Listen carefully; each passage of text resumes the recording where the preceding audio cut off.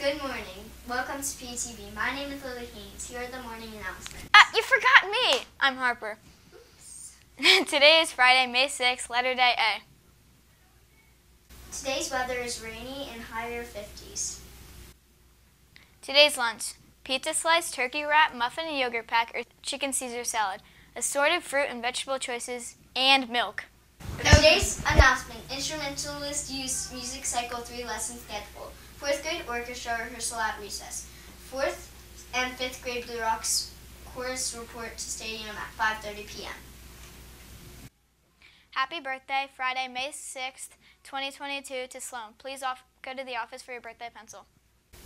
Also, happy birthday to Nahal, Sahil, Ruby, and Beatrix. Please go to the office for your birthday pencil. Trivia time! Can a tortoise breathe underwater? Please take the next 10 seconds to answer the trivia and get ready for the pledge.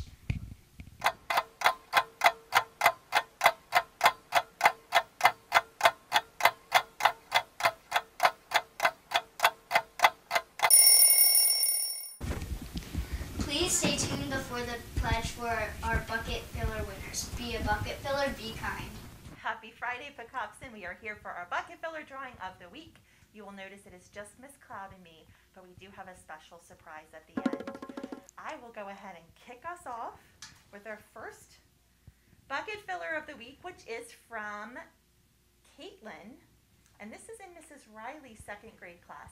I want to fill Sydney's bucket by helping me clean my desk.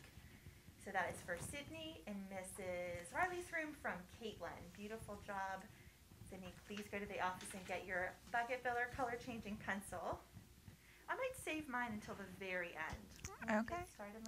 All right. Okay. Uh, so our first bucket filler, we have two. Our first bucket filler this week is going to be Lorelei from Mr. Stevens' class.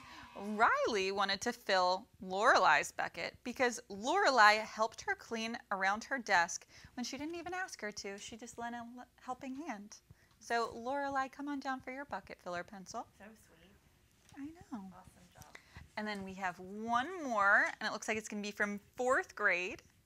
Eve from Mrs. Welch's class would love to fill Laura's bucket by saying, Thanks for sitting with me at lunch.